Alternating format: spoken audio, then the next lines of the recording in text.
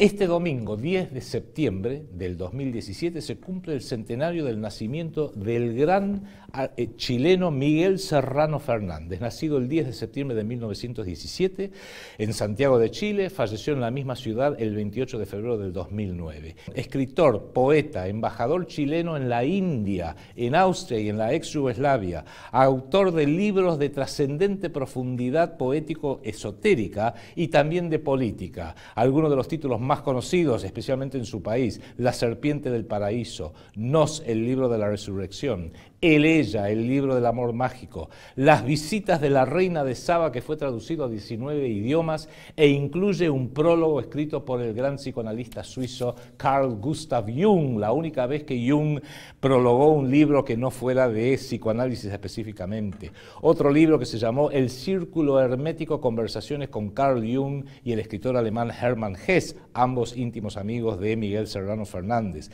Su gran trilogía, El último El cordón dorado y la resurrección del héroe, donde describe de una forma muy lúcida su lucha política y la lucha política de muchos. Su autobiografía de cuatro tomos, Memorias de él y yo.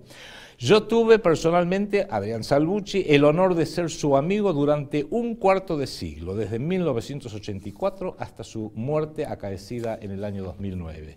Para mí, Miguel Serrano Fernández fue, junto con Jacques Maillet y con Denis Martos, uno de mis grandes maestros. Me enseñó muchísimo. Y en el centenario de su nacimiento le mando un gran abrazo a Sabela, su viuda, que vive en Santiago de Chile, y a Fernando, su mejor discípulo y mano derecha. Don Miguel Serrano Fernández, un gran chileno, un sabio iberoamericano y un leal occidental, para quien su honor fue siempre lealtad. Honor a su memoria.